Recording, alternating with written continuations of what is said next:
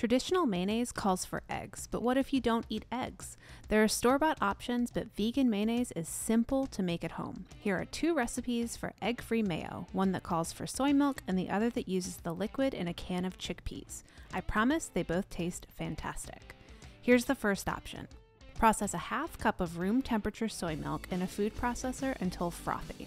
Now add one tablespoon of red wine vinegar, a quarter teaspoon of salt, one and a half teaspoons of Dijon mustard, and a teaspoon of fresh lemon juice. Process everything until blended, then slowly stream in one cup of oil. I use a neutral oil like sunflower or grapeseed. Adding the oil slowly is important so that the whole mixture emulsifies and transforms into thick, creamy, egg free mayo.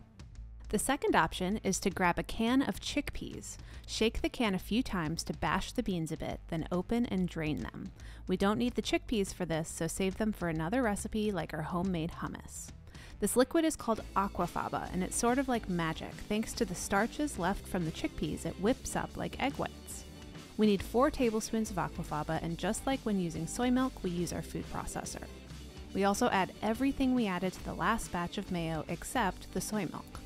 After adding the vinegar, salt, mustard, and lemon juice, close the lid and process until the mixture looks frothy. Then slowly stream in one cup of oil. It's delicious, thick, and creamy. And that's it. Two recipes for making egg free mayonnaise. Use this just as you would regular mayo. If you'd prefer more traditional mayo made with egg, we've got a recipe for that too. Enjoy! Thanks for watching. If you love this video, we have lots more. Make sure you subscribe to our YouTube channel and say hi on Facebook, Twitter, or Instagram.